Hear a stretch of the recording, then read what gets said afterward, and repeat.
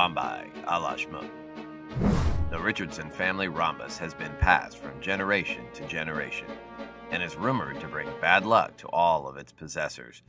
There's just something shifty about the rhombus' perfect shape. On this segment, we inspect the fabled rhombus to see if any connection can be made between its geometry and its shady history. This is Behind the Diamond. Like all rhombi, the Richardson family rhombus is a parallelogram, a quadrilateral with two pairs of parallel sides with all four sides congruent. This particular characteristic became a source of terror for the wealthy Worcester family, who eventually went insane because they could not tell if the rhombus was in the same position they had left it in. Had it been flipped over during the night? Was it facing the other way? No one knew.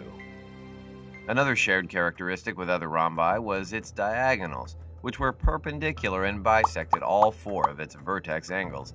This eventually led to the mental degeneration of the gem expert, Sir Pipswat, who spent his entire life attempting to break the famed rhombus into two perfectly congruent isosceles triangles.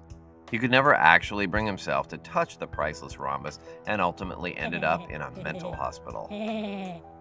The Richardson family rhombus is currently in the possession of a family who refuse to be mentioned on this program. Will the rhombus perfect geometry get the best of them?